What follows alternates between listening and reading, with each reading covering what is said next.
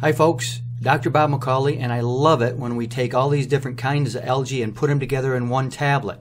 We did it with this one, spirulina and chlorella, and then we put a marine algae in, so that way you can get all your essential fatty acids, ALA, GLA, DHA. These three algae together, they work synergistically to give you health benefits that by themselves you wouldn't get. So if you just took chlorella by itself, you wouldn't get the same health benefits if you took all three of these, spirulina, chlorella, and this marine algae together in one tablet. You got cardiovascular health, brain health, eye health, helps balance your triglycerides, helps control cholesterol, levels, obesity, hypertension. So you, you get this synergistically working together to do things that by themselves they just wouldn't be able to get. Always look to the plant world to get your fat because that's where fats come from. Of course, no animal or human can produce fat.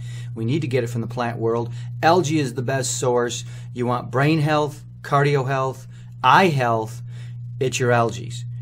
We got them here all in one tablet.